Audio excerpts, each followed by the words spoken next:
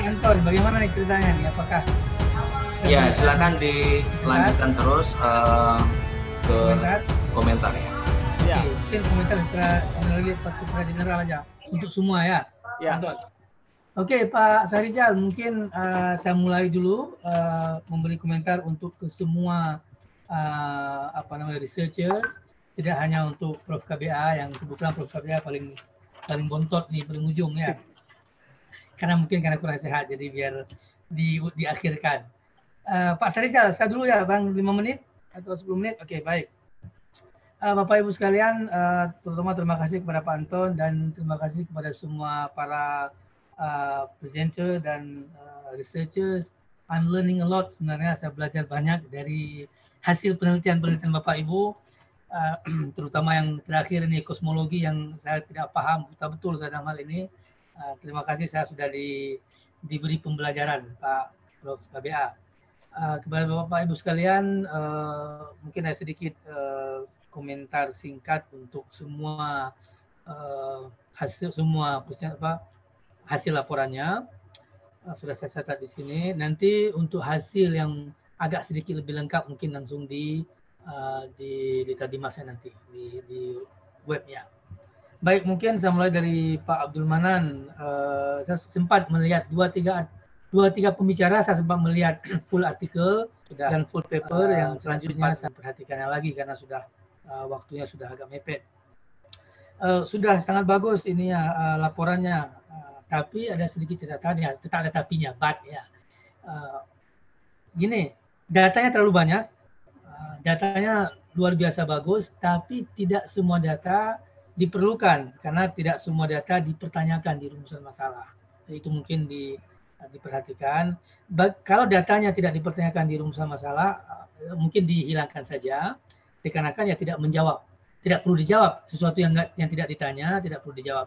Jadi mungkin nanti Pak Iping dan teman-teman uh, di uh, grup yang pertama uh, mohon dicek kembali rumusan masalahnya apa, kemudian bagaimana jawabannya terhadap uh, masalah tersebut. Datanya sudah ada semua, tapi dikarenakan datanya terlalu banyak, ada data yang tidak mesti di, di, tidak diperlukan di situ karena memang tidak tidak dipertanyakan. Itu satu. Uh, yang kedua di saya sedikit melihat juga memberi feedback terhadap draft artikel. Draft artikel uh, kajian ini cukup bagus, tapi setiap draft artikel keseluruhannya masih saya melihat uh, shorten, bukan summarizing. Jadi shorten tidak sama dengan summarizing. Kita men-shorten artikel yang apa uh, paper yang laporan penelitian yang 100 halaman ini menjadi 20 halaman ada bukan dengan cara memotong-motong tapi dengan cara mengambil inti dan this is one another struggle saya pikir. This is another headache. Ini sakit kepala juga ini bagaimana cara mengambil inti tadi dan resume dari laporan yang panjang tersebut. Jadi bukan memotong jadi saya melihat masih cukup panjang nih masih 40 halaman ini untuk artikel dan dan saya, saya pikir tidak banyak jurnal yang menerima sepanjang itu artikel. Ya, maksimal 20 25 itu itu maksimum untuk untuk artikel jurnal saya pikir. Tidak semua banyak tidak semua jurnal yang menerima banyak uh, apa namanya banyak uh, halamannya ya. Baik kemudian itu untuk Bapak Abdul Pak uh, Muhib Muhib Pak Abun uh, Abun Gure uh, sudah bagus ininya uh, laporannya. Cuma mungkin sedikit di analisa data di, harus ada kodifikasi disesuaikan kodifikasi codingnya dengan jawab dengan rumusan masalah. Misalnya rumusan masalahnya A, B, C. Nah jawabannya apa terhadap rumusan masalah A, rumusan masalah B, rumusan masalah C. Dan uh, juga uh, harus lebih jelas data itu berasal dari pakai interview, dokumen analisa atau yang lainnya. Begitu juga dengan begitu juga dengan artikel uh, mungkin masih dalam tataran shorten bukan summarize. Nah itu mungkin uh, untuk perbaikannya bisa dilakukan dan untuk semua ketika untuk di draft artikel mestinya memang dilihat langsung gaya selingkungnya jurnal yang akan dipublikasi sehingga tidak terjadi dua kali. Itu mungkin catatan selanjutnya.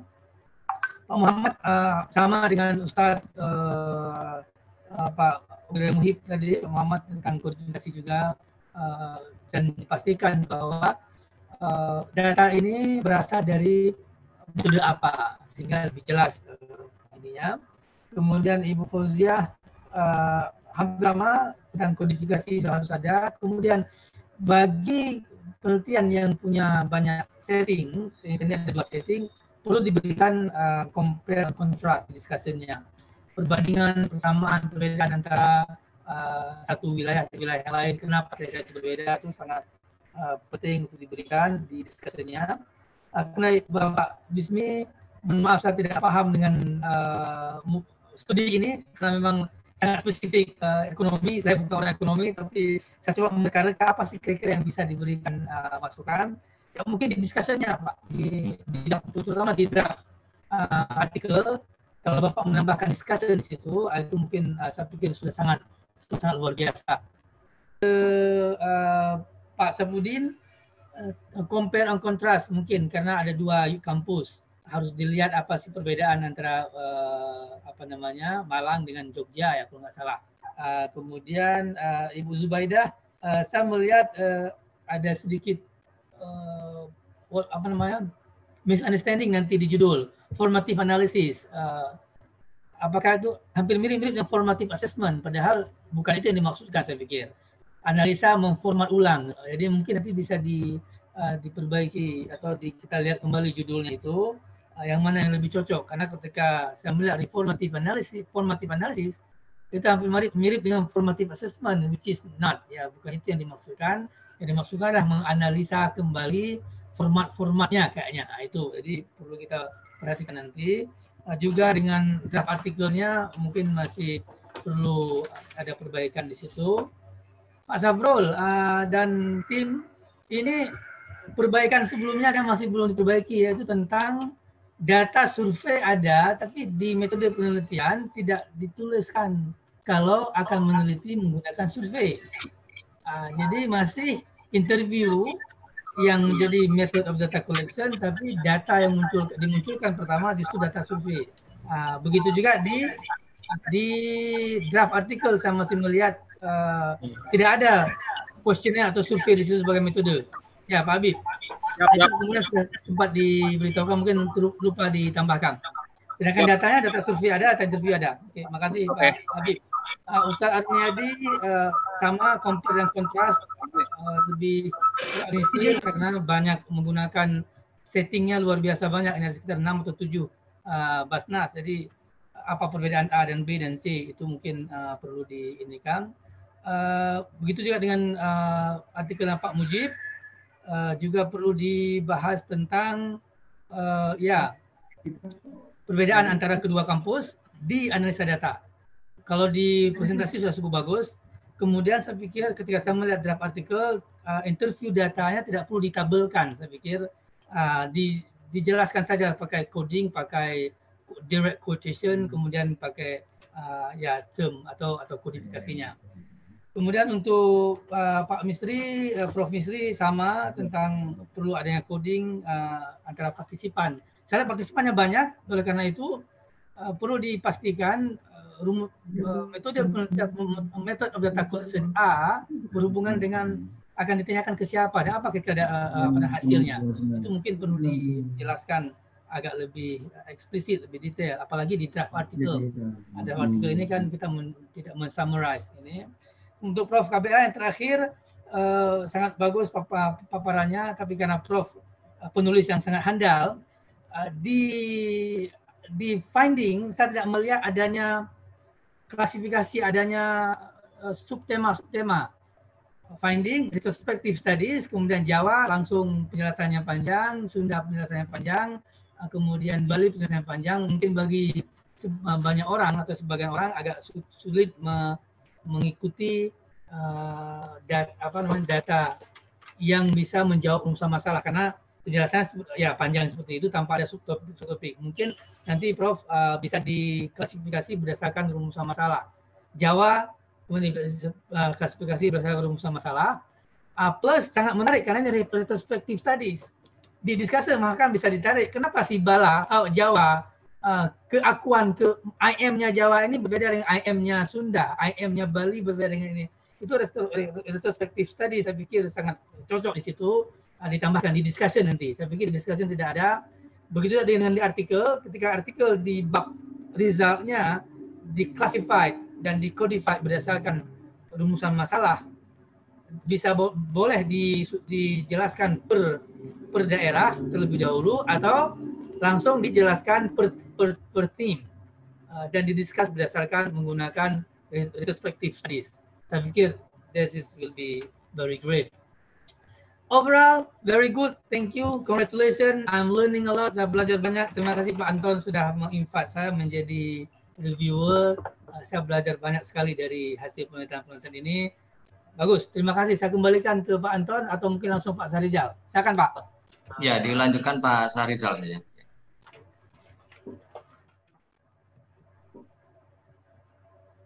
Tolong di unmute dulu Pak Sarizal. Suaranya, suaranya di, di unmute Pak.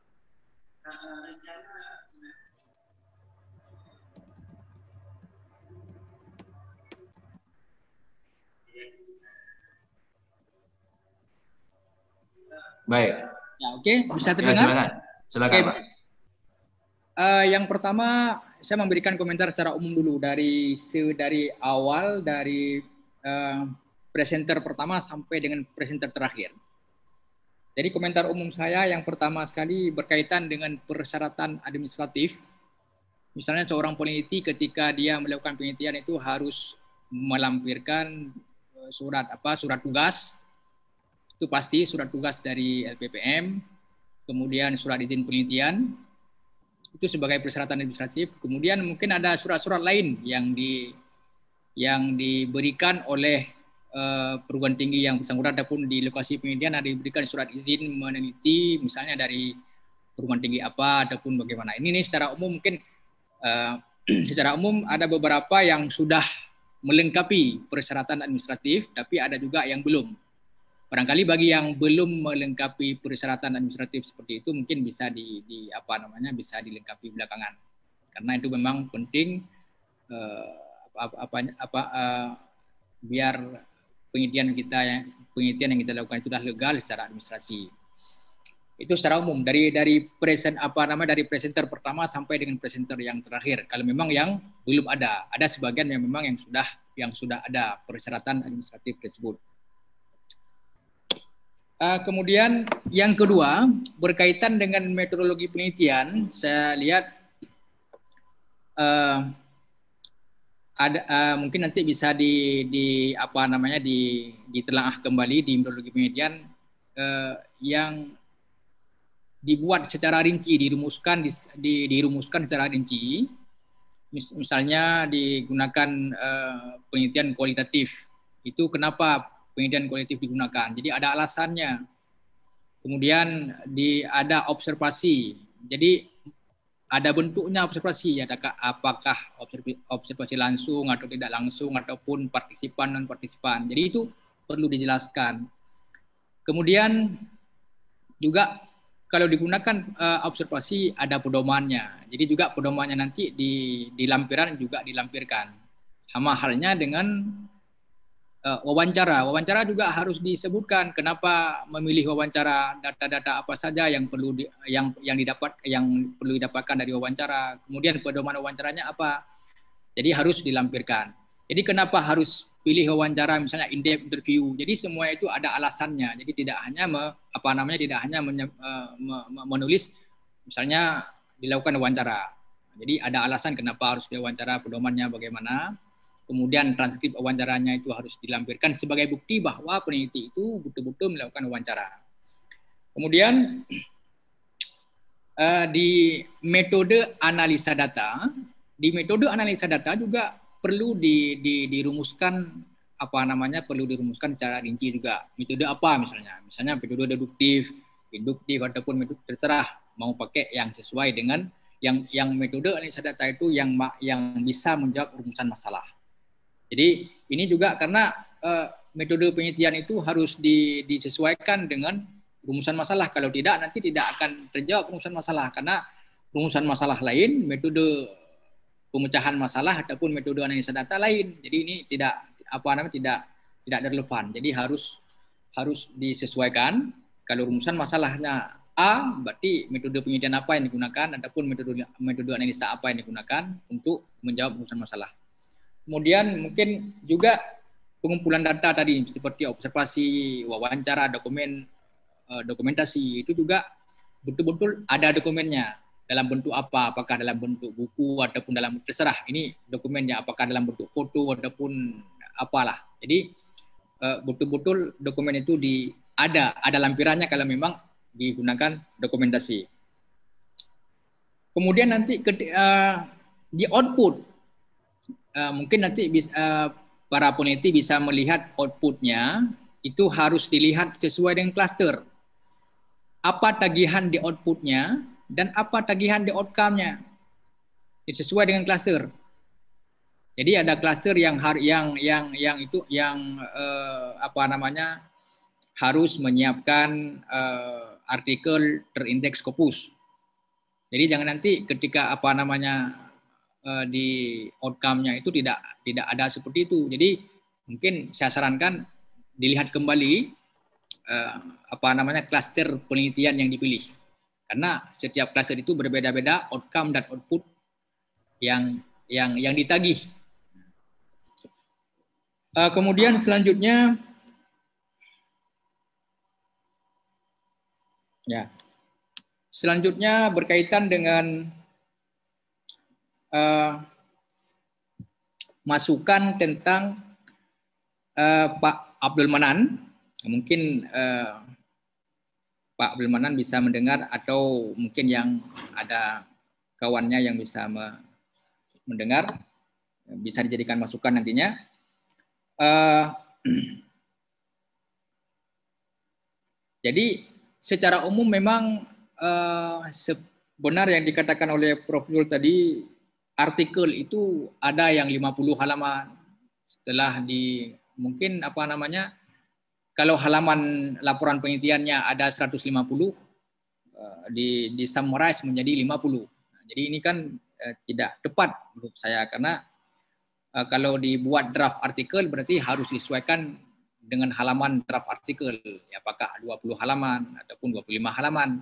Jadi tidak apa namanya tidak terlalu panjang sekali. Ini mungkin uh, keseluruhan keseluruhan dari uh, peneliti dari peneliti pertama, presenter pertama tadi sampai dengan presenter uh, presenter terakhir.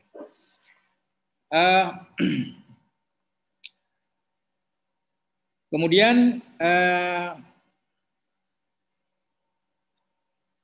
Yang selanjutnya kepada Pak Pak Muhib, uh, mungkin di khusus di metodologi penelitiannya perlu dijelaskan secara rinci seperti saya sampaikan tadi secara umum bahwa uh, dirincikan biar nanti enak dibaca, kemudian uh, sistematis sehingga bisa menjawab semua rumusan masalah penelitian disesuaikan dengan uh, metodologi penelitian.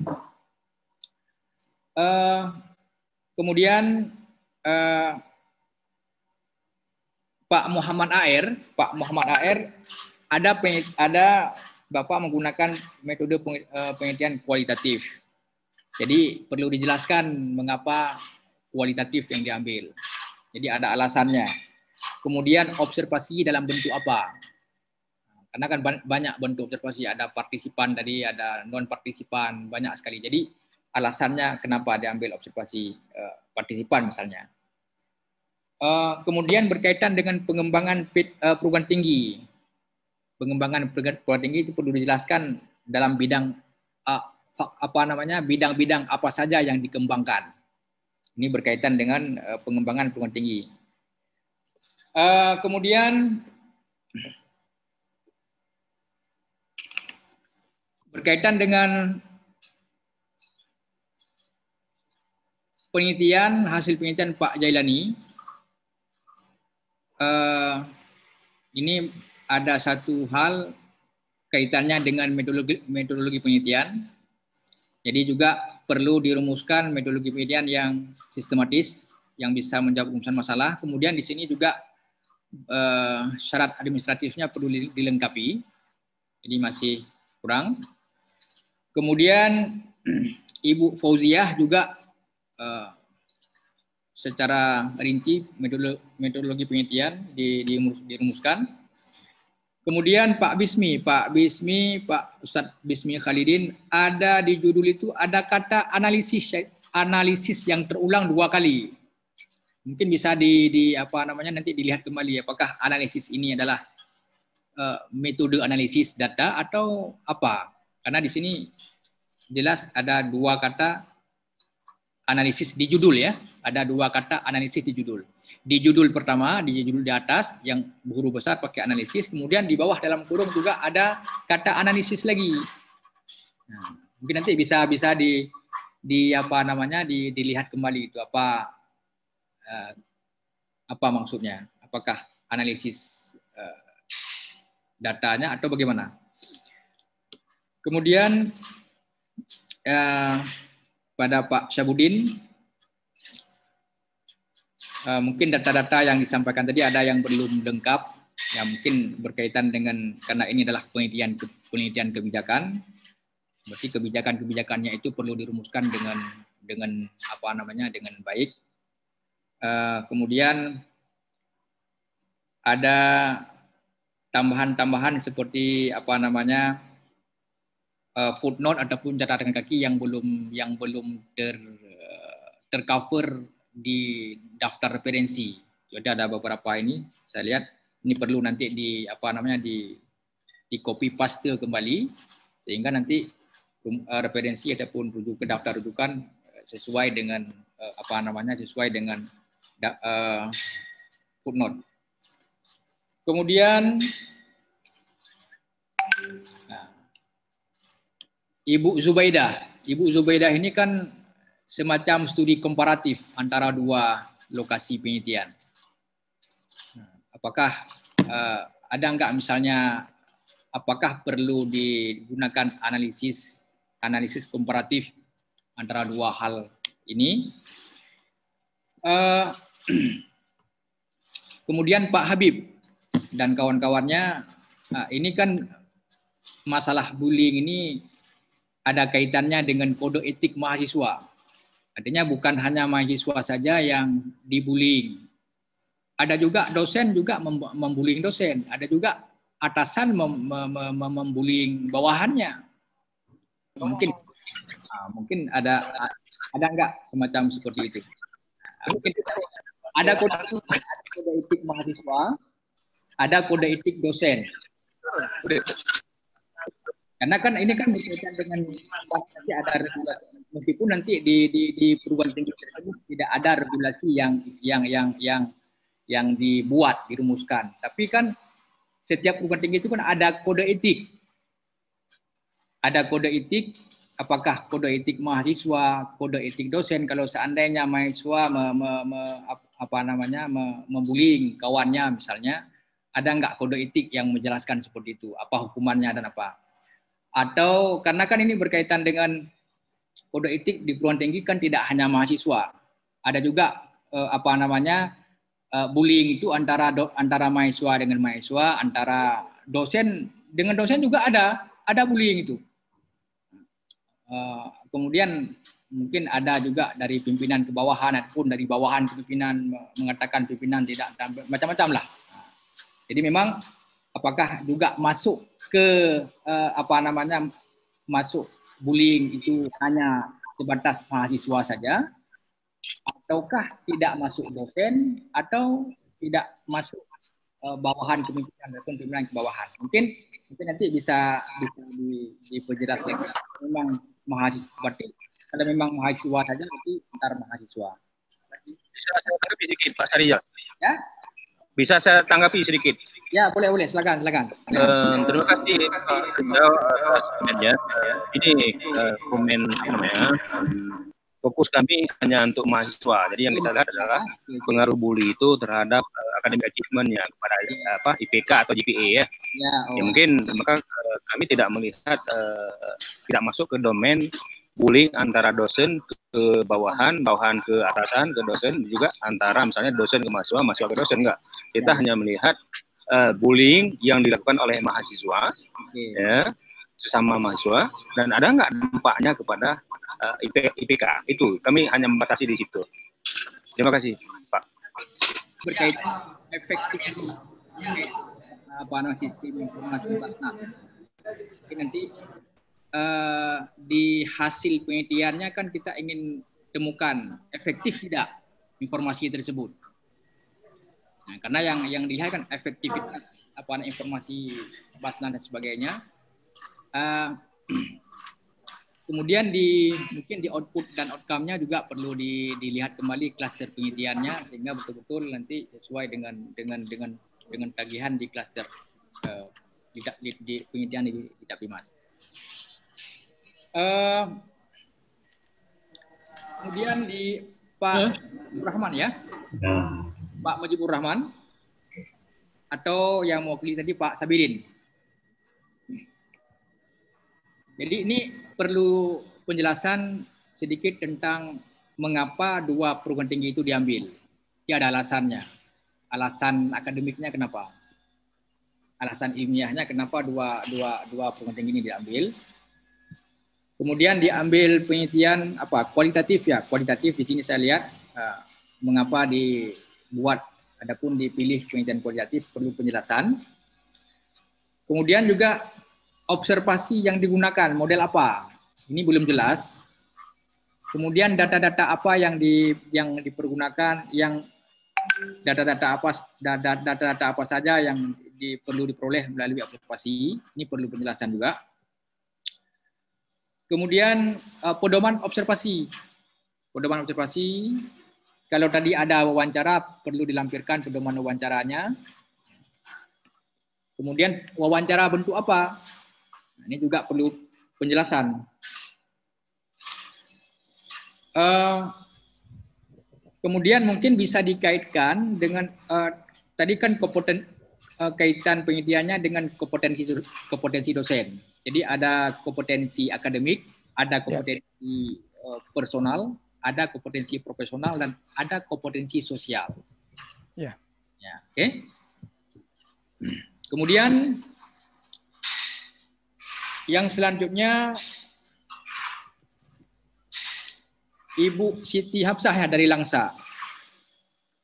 Nah, ini juga lagi-lagi berkaitan dengan uh, metode penelitian nanti dirumuskan kembali yang yang bagus, yang sistematis, uh, observasinya bagaimana, panduannya uh, panduan observasi apa, kenapa observasi dipilih, kemudian data apa saja yang diambil dari observasi, kemudian perlu lampiran observasinya, lampiran uh, kuesionernya. Jadi juga harus uh, jelas sehingga betul-betul penelitian ini dilakukan dengan sepenuh hati.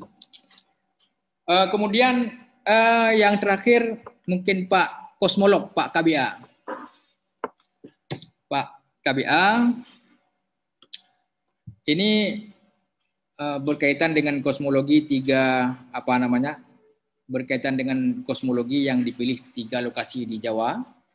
Nah, kemudian di sini uh, memang di kesimpulan belum terpilah-pilah hasil penelitiannya sesuai dengan tema ataupun tematiknya. Jadi perlu diklasifikasi menurut saya uh, hasil penelitian Eh, berdasarkan rumusan masalah. Kemudian juga eh, di metodologi penelitian juga eh, apa namanya perlu dijelaskan secara sistematis dan rinci sehingga betul-betul ketika kita melihat ada urutannya yang yang yang bagus, yang sistematis. Uh, mungkin itu dari saya secara uh, umum ataupun nanti secara lebih khusus saya tulis lagi nanti di di paparan di halaman uh, komentar reviewer mungkin secara lebih lebih detail barangkali. Nah, ini baru uh, sekedar gambaran umum saja yang perlu diketahui. Sekian, uh, terima kasih atas kesempatan yang diberikan. Assalamualaikum warahmatullahi wabarakatuh. Waalaikumsalam warahmatullahi wabarakatuh.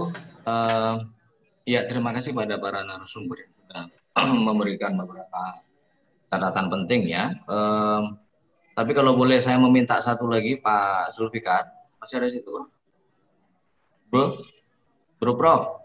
Ya.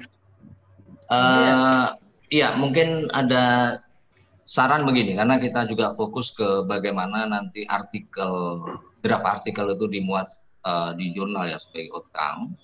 Ada nggak spesifik dari yang sudah dibaca itu apa yang signifikan perlu diperbaiki kembali untuk sebuah draft artikel. Jadi uh, mungkin ada saran uh, baik dari Pak Zulfikar maupun dari Pak Sarizal ya. karena mereka nanti akan dituntut outcome ya. Ya betul betul. Hmm. Ada spesifik di situ komentar tentang itu? Mulai dari Pak Zulfikar uh, dulu. Pak, oke okay, baik. Uh, ya sudah sempat saya lihat uh, semua draft artikel yang kebanyakannya memang masih dalam tataran uh, apa namanya shorten uh, belum mensummarize hasil uh, ini ya oleh karena itu uh, saya berpikir mungkin saran pertama uh, diambil intinya dan disummarize intinya sehingga menjadi sebuah artikel jadi tantangan luar biasa sebenarnya karena artikelnya panjang itu, kan, itu kan seperti sama seperti tesis atau disertasi yang panjang dan kita bukan men-shorten tapi mensummarize artikel. Jadi itu mungkin untuk teman-teman yang uh, yang saya lihat artikelnya sudah sudah bagus tapi ya masih kebanyakan men-shorten, tidak mensummarize, tidak mengambil inti daripada uh, laporan penelitian itu. Itu satu. Yang kedua memang tadi eh, sempat kita chat di ini tentang studi Islamika, betul hanya beberapa jurnal yang seperti itu yang studi Islamika salah satunya yang menerima sepuluhan ribu kata.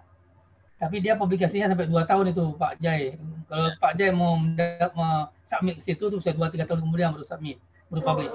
Oleh karena itu, sedangkan artikel-artikel jurnal, jurnal yang lain tidak banyak yang yang menerima di atas 6.000 kata. Jadi 7 7.000 6.000 kata itu bahkan ada 3000 kata. Jadi mungkin di, disesuaikan saja satu. Eh, sarannya itu Pak Anton. Dan kedua biar lebih cepat dan tidak kerja dua kali mungkin langsung dengan gaya selingkungnya jurnal. Ketika mendraftkan artikel kemarin jurnal apa yang ingin ditujukan langsung mengambil gaya selingkung jurnal tersebut dan di dibuat seperti itu sehingga nanti bisa langsung kita publish.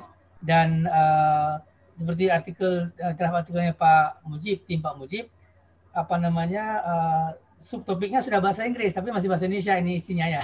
Mungkin di harusnya diterjemahkan aja semua ke bahasa Inggris biar biar jelas ya.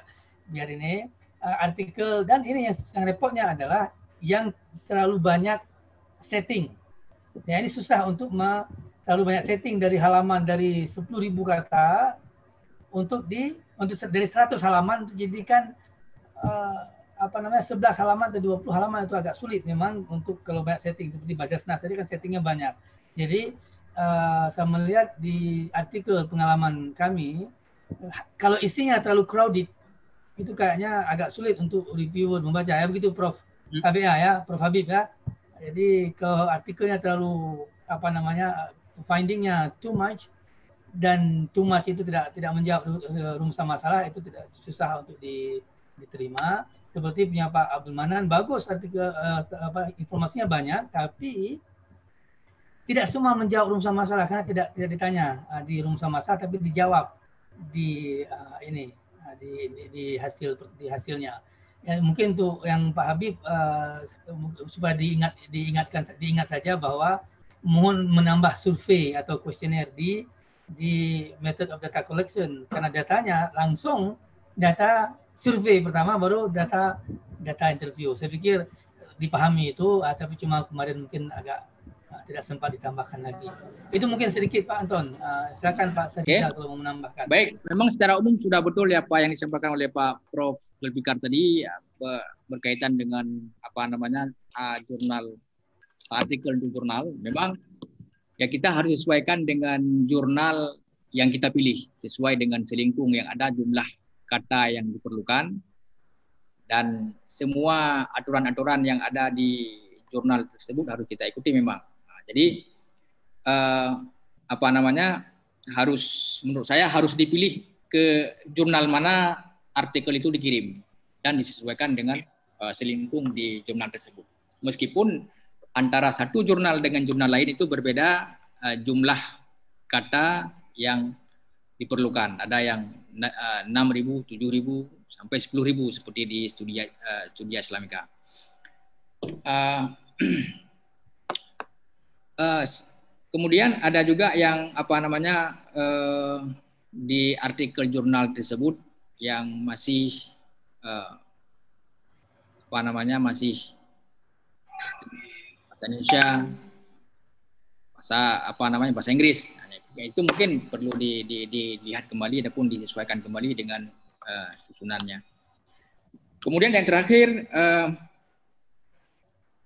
seperti yang saya saya sampaikan tadi, kalau uh, kita harus melihat klaster penelitian tadi seperti saya sampaikan, klaster penelitian pengembangan pengembangan tinggi, klaster penelitian apa strategis nasional, kemudian ada klaster itu lagi kalau tidak salah saya peneliti di sini ada tiga klaster. Nah, mungkin setiap klaster itu berbeda-beda uh, outcome yang diminta. Ada yang uh, apa namanya? Ada yang artikel harus dimuat di jurnal internasional dari Scopus. Ada yang yang hanya sebatas uh, jurnal nasional uh, terindeks Sinta 1 ataupun Sinta 2.